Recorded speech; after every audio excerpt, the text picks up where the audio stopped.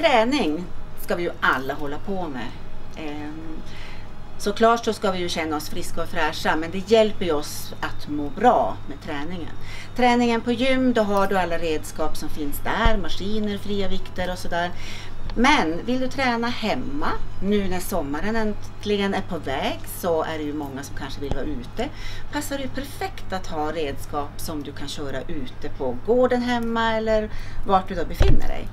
Och då finns det ju faktiskt ett stort utbud och sen är det bara fantasin som sätter begränsningar hur du ska göra.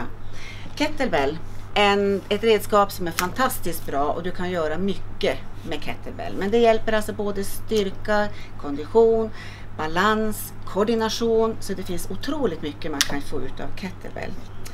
Maghjul, då kanske man ska vara på någon eh, altan kan man vara på absolut. Eh, träna mage, bål, axlar, hela kroppen egentligen.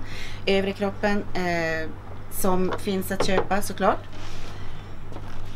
Här ser ni också T-rexband som man kan använda i stugan, på campingplatsen om det ska vara där i sommar, hemma. Eh, det finns eh, para, eh, fallskärms eh, som utmanar dig att springa när du springer. Att springa med en fallskärm och får då extra utmaning till lite tyngre men kan ge fantastiska resultat i slutändan. Sen finns det produkter där som hjälper dig att återhämta dina muskler efter träningspass. Det kan vara en foamroller, triggerroller, eh, de massagebollar som hjälper dig att få ut den spända fascian som lindar om dina muskelbuntar i kroppen. Så att du ändå kommer få en smidigare muskulatur och få en bättre utveckling när, när du gör din träning.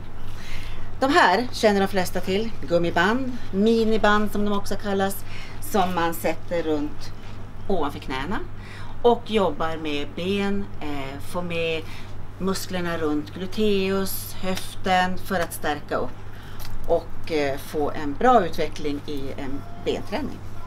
Kom in till oss så ska vi visa dig eh, ännu mera redskap som kan hjälpa dig vid hemmaträning, uteträning eller komplement till ett gym.